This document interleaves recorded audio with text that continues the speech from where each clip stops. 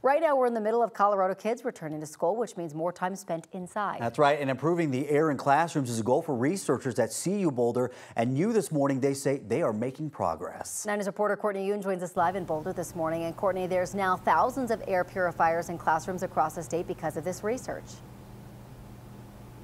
Yeah, that's right. Good morning, Jordan and Corey. And I'm with one of the researchers who is spearheading this. This is Dr. Mark Hernandez. Good morning, Dr. Good morning. Mark Hernandez.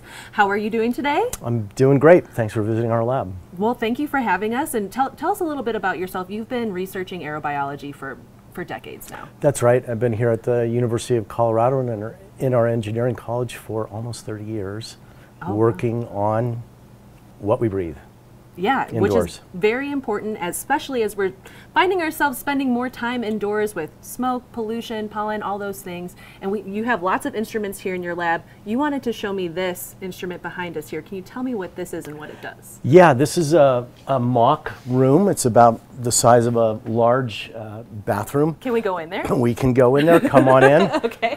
That's the whole point is you can come in here and we test all sorts of different air purification equipment from ultraviolet lights, different types of air purifiers, some chemically based, some filtered based. And we're looking at things that we've tested that have been installed in classrooms all over our state. And tell us what have you found with this research in the classrooms? We found that air purification is cheap, easy, and ready for prime time. That's what we found. And we've installed these air purifiers in thousands of classrooms all over the state. Yeah, and this research is continuing. You guys are partnering with the medical school now. We are, and what we're trying to do is figure out how the students benefit in terms, mostly in terms of absenteeism and in terms of classroom performance.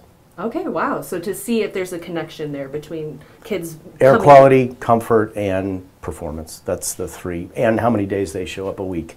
So we're trying to improve all those things. Awesome. Well, thank you for having us here today. Yeah, Appreciate I'm glad you came. All right, we're going to have a lot more, so definitely stay tuned here at the lab on CU Boulder's campus. Live in Boulder, Courtney Yoon, 9 News.